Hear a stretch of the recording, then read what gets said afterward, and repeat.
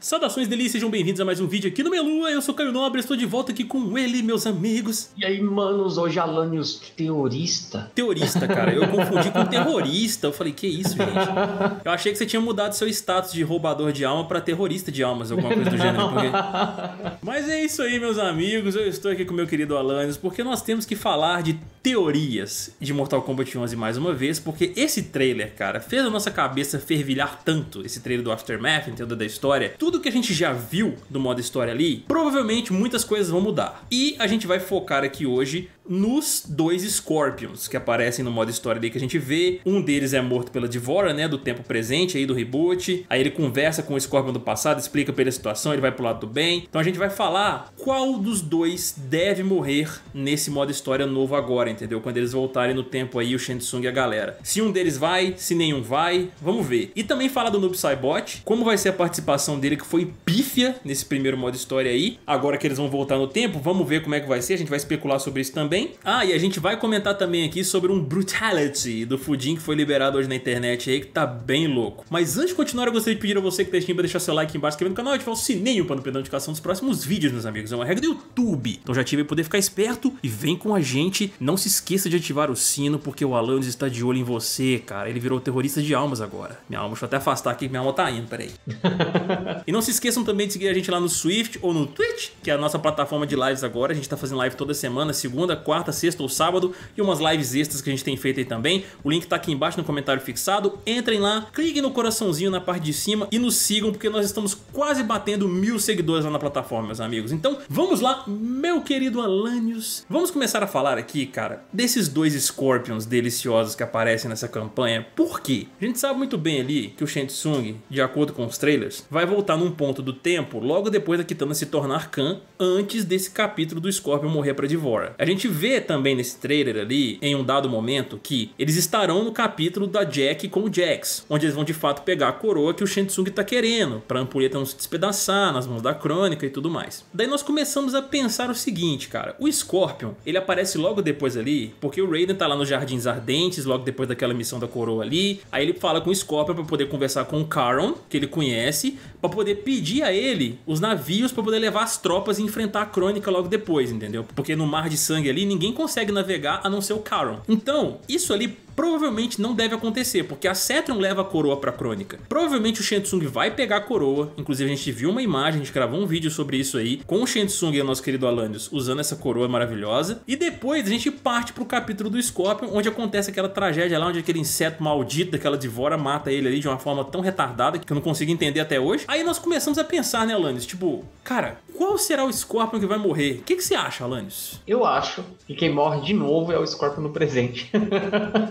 Não faça isso, cara. Porque ele é o único que pode morrer. Ele voltou a ser humano, né? Ele não é mais espectro. No passado, o espectro, se morrer, volta, né? Se alguém tiver que morrer, tem que ser. E não pode ser que não seja pelas mãos da Devora. Pode ser que nessa altura do campeonato os eventos mudem de tal forma que a Devora nem esteja lá. Mas, e se não for? E se quem pegar for o do passado? Porque, olha só que interessante. Digamos que chegue algum momento lá em que o Scorpion começa a discutir com o outro e tal. A gente sabe, né? Teve aquela discussão, teve aquela treta. E aí o Scorpion no presente ali, é, por acaso acabei derrotando o Scorpion no passado. O que que acontece? Porque o Scorpion no passado é um Spectro, né? Então ele sempre volta. Será que há uma forma de ele vencer o outro Scorpion e não desaparecer? Porque o Scorpion no passado é um Spectro e sempre retorna? Pois é, cara. Bem curioso isso mesmo. Dá até um certo nó na cabeça da gente aí, porque eu acredito que esse momento dos dois Scorpions se enfrentarem nem deve acontecer, ou se acontecer, vai ser de uma forma um pouco diferente. Para o desenrolar destes eventos aí que a gente conhece, a Cetron precisaria pegar a coroa. Provavelmente isso não vai acontecer dessa vez. Que a gente vê eles enfrentando a Cetron ali e eles provavelmente a derrotam. Não vai precisar do Caron novamente para pegar os navios ali e enfrentar a Crônica diretamente, já que ela tá com a coroa, entendeu? É possível que a Crônica vá até eles para poder causar esse embate aí. E a gente vê que no início da história, até a parte ali que ele enfrenta o outro Scorpion, ele tá do lado da Crônica, entendeu? Ele tá ajudando essa galera do mal ali, até o meu querido Hanzo Hasashi tacar a palavra ali no nosso querido espectro do passado e fazer ele entender que que os Shirai Ryus foram reconstruídos, entendeu? Que era tudo uma mentira. O Quan Chi que arquitetou o assassinato do clã, não foi culpa do Sub-Zero e tudo mais. A gente tem duas possibilidades aí. Ou ele não vai conversar com o Scorpion, vai continuar sendo maligno e alguém vai dar cabo dele. Eu ainda vou comentar uma parada que a gente viu lá no Reddit sobre isso. Ou então eles vão trocar uma ideia, o Scorpion do presente vai vencer ele sem matá-lo e vai convencê-lo de alguma coisa. Eu acho que vai ser bem por aí. Porque o Hanzo Hasashi não é de matar, ainda mais o outro eu dele, que ele sabe muito bem que ele já esteve naquela posição de achar que a família foi assassinada pelos Linquês e tudo mais. Eu acredito que possa ser por esse rumo aí, entendeu? O Scorpion vai continuar maligno, pode ser que ele não encontre outro Scorpion e o Shensung acabe dando cabo dele, porque a gente viu no Reddit uma passagem assim, cara, os rumores estão rolando por lá, estão dizendo que pode ser um vazamento da história aí que o Scorpion maligno dessa vez que vai rodar, mas eles não souberam dizer se o Shensung, que vai estar envolvido nisso aí inclusive, vai matá-lo ou se ele vai prendê-lo de alguma forma em algum lugar. Não souberam responder isso. Então fica aí a dúvida. Será mesmo que o Scorpion do passado é o que vai rodar dessa vez aí? E tem esse ponto que o Alanis levantou também. Se o Scorpion do passado morrer, como ele é um espectro e sempre volta, vai afetar o do presente, que agora é humano, entendeu? Assim, a gente sabe que ele é o Hanzo Hasashi, mas ele tem os poderes de espectro dentro dele ali sob controle. Ele é tipo um motoqueiro fantasma que aprendeu a controlar o, o motoqueiro, né? Então assim, ele tem uma ligação com o Netherrealm, ele tem uma ligação com o inferno ainda, apesar dele ser humano, o lado humano dele prevalecer. É interessante a gente imaginar isso e tentar pensar como é que funciona pro lado do Scorpion. Eu gostaria que vocês aí que estão assistindo comentassem aqui embaixo o que vocês acham, cara. A gente já deu a nossa opinião aqui. E nós temos um outro personagem que poder comentar, Alanios, que é o nosso querido Noob Saibot, que teve uma participação pífia. Infelizmente, cara, nesse modo história, ele aparece somente no capítulo do Scorpion do Sub-Zero ali, quando eles estão invadindo a central dos Linquês ali, da iniciativa cibernética, que tá ajudando a crônica. Aparece rapidinho, apanha, some. Aí depois, no capítulo da Jack e do Jax, ele toma um sarrafo pros dois, velho. Ele faz umas 300 mil sombras ali e ainda apanha. Complicado. A